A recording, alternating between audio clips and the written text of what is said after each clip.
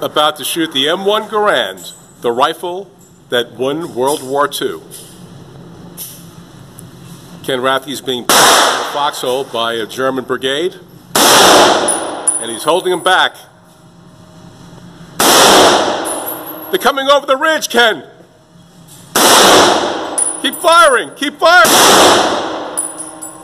We got mortar rounds coming in.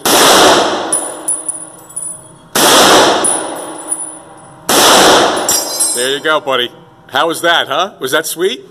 Yeah. That's amazing. Is that amazing? Right. Okay. Good deal, Ken. All right, now it's time for the machine gun. You ready?